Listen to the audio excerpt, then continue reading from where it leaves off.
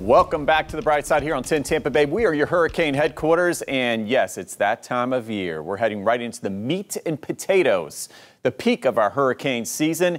And it does look like as we go through now, September 10th, the official peak, all the way in through uh, the second, third week of October, this is what we can expect. We look across the Atlantic, expect hatched areas, expect to watch it each and every day and check back in with us. You can see we've got a wave off Africa second wave we're lining up. Number three lining up, okay? So heading toward areas of the Caribbean.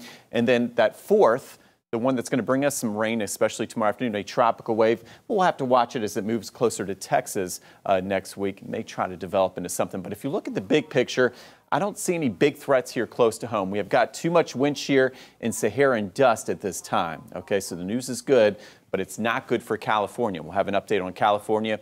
And of course, until then, we'll keep you informed, prepared, and connected.